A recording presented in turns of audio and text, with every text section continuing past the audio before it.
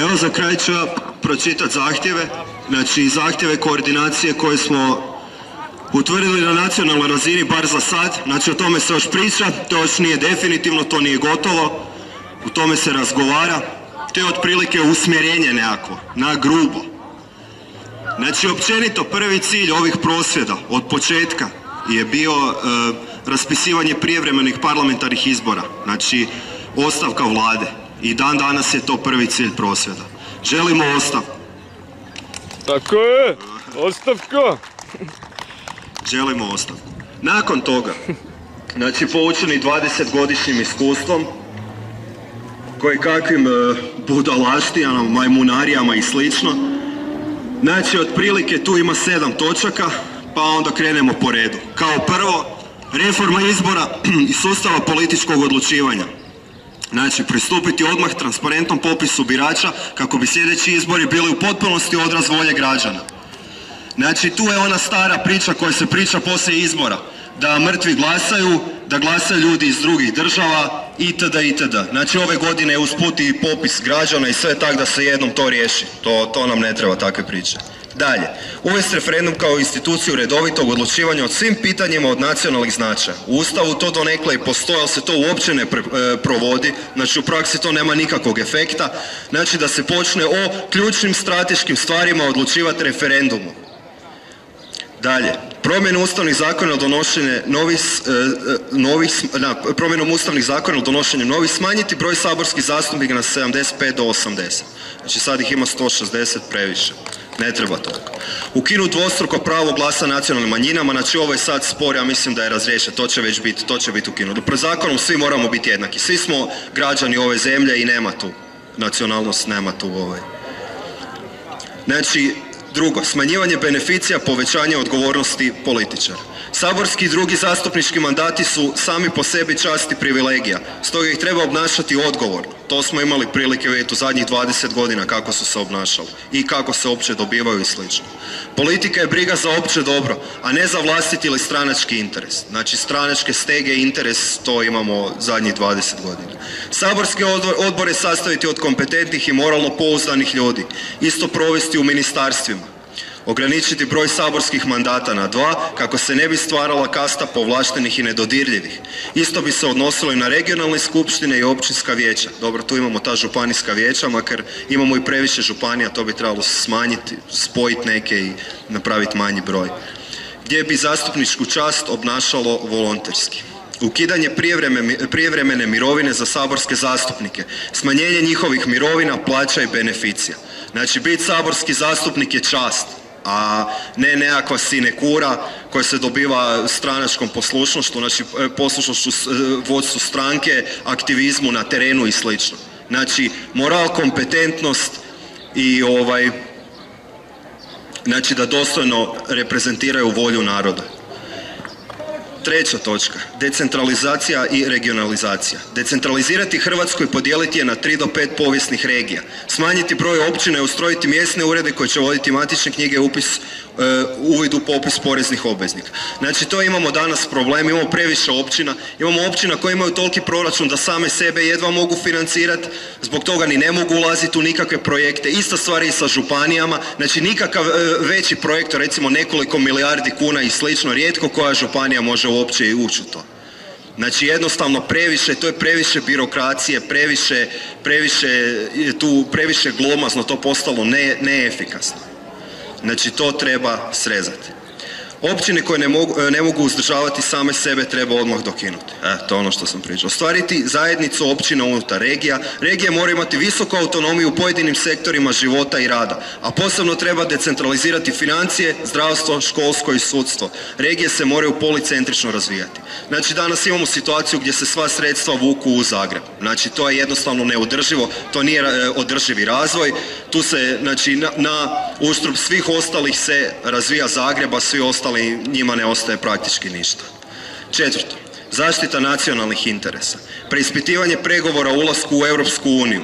Raskid svih međunarodnih ugovora koji su štetni po Hrvatsku i sklapanje novih u kojima bi se Hrvatska, kojima bi Hrvatska štitila interese svojih građana i bila ravnopravan partner. Tu imamo ono, tone i tone toga. Gdje su se nepovoljni ugovori sklapali za nekakve provizije sitne, za nekakva prava i slično. Znači i danas priča o ulasku u Europsku uniju, samo nek oni kažu istinu. Da su oni govorili istinu od početka u Europskoj uniji, ona nikad ne bi ni, ni nastala. Znači to je isto niz laži, neistina itd. Smanjenje ili prekid uvoza svega što možemo sami proizvoditi.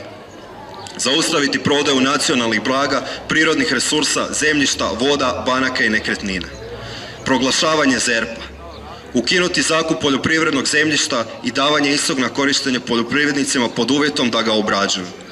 Reorganizacija svih sustava poticaja u svrhu zaštite domaćih interesa, a ne u svrhu generiranja profita.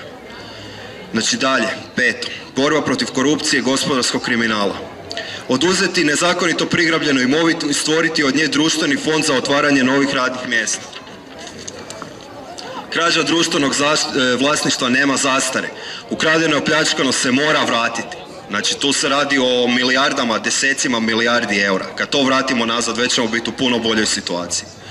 Ukidanje saborskih imuniteta i provođenje aktivne i opsežne istrage o, e, o poslovanju svih članova vlade sadašnjih i bivših. Jel vidimo kako to ide, ne? Čim se dođe na vlast, znači samo je pitanje političke volje, a ne e, policijskih istraga i u- istraga uskoka i slično, da li će neko biti osuđen, svi su oni uvučeni, svi su oni isti praktički. Pregled poslovanja svih državnih poduzeća od strane nezavisnih inozemnih stručnjaka, jer domaći su očito po podobnosti se biraju. Izmjena zakona koja ne dopušta ovrhu imovine rodbine u slučaju da se dokaže da posjeduju nelegalno stečenu imovinu. Znači ovo je veliki problem u Hrvatskoj gdje se zna da je neko pokrao milijune ili desetke milijuna, a onda taj neko nema u biti nikakve imovine. Znači sve predpiše na rodbinu i on nema ništa.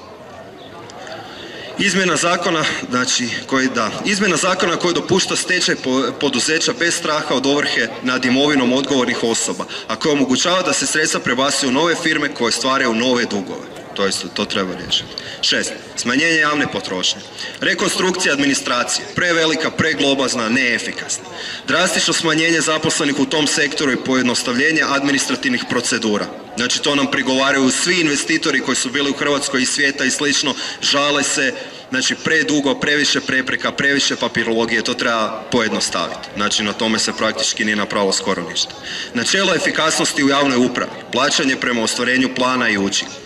Revidirati mjesto vjerskih zajednica i njihovo plaćanje iz proračuna, pa ako treba pokrenuti izmjenu ugovora između Katoličke crkve i Vatikana kao i drugih vjerskih zajednica s hrvatskom vladom zbog bahatog ponašanja i trošenja novca iz državnog proračuna bez kontrole. Znači to je danas sa crkvom, imamo problem ti crkva dobije, ne znam, 300 milijuna, a onda neće nikakvu reviziju i slično, nikakvo izvješće neće podnositi itd. Znači bilo bi u redu, to je u svim demokracijama i u razvijenim zemljama da neko kad je član vjerske zajednice da on sam bira da li će plaćati, točnije da on sam financira tu vjersku zajednicu. Znači crkva mora biti odvojena od države. To je jasno. Sedam. Briga za sigurnost građana. Osigurati svima adekvatnu socijalnu, mirovinsku, zdravstvenu e, koja bi postigla zdravstvenu skrb koja bi, postigla, koja bi se postigla reforma ova tri sustava zaštite na temelju ravnopravnosti svih građana Hrvatske, bez obzira na materijalni status, spol ili mjesto stanovanja. Znači mi danas imamo kontinuirano tu neku reformu sustava u kojem se uvodi baš obrnuto. Znači po principu koliko para, toliko muzike. To je nedopustivo kad se tiče znači, nekih osnovnih socijalnih prava, e, pogotovo isto osnovne zdravstvene zaštite i slično. Znači to mora biti, moraju svi, svi građani dobiti. Građani zahtijevaju sigurnost od svih oblika nasilja, istinsko zalaganje za društvo bez oružja, ali sigurnost od nesposobne i korumpirane vlasti. Znači radi se o tome da ovaj, isto mora se iskorijeniti kriminal, korupcija, uvesti reda u državu. Znači, evo, to bi bilo ukratko to. To nije ništa fiksno, čvrsto, znači o tome se priča, o tome se još raspravlja. Tako da, ali vidi se u kojem to ide smjeru, znači vidi se što su otprilike naši zahtjevi, jer ovo nije, mi, ne- mi ne idemo u političku kampanju, mi nismo političari, mi smo obični građani i poučeni 20-godišnjim iskustvom, znači do sad su se iskristalizirale neke stvari i ta iduća vlada, već iduću vladu očekujemo da će ove stvari riješiti. Znači to su velike boljke ovog društva, to su nepravde, to se mora razriješiti. Znači ova država će samo propadati ako se bude stajalo, gledalo i ne radilo ništa. Evo, toliko od mene, hvala svima koji su došli.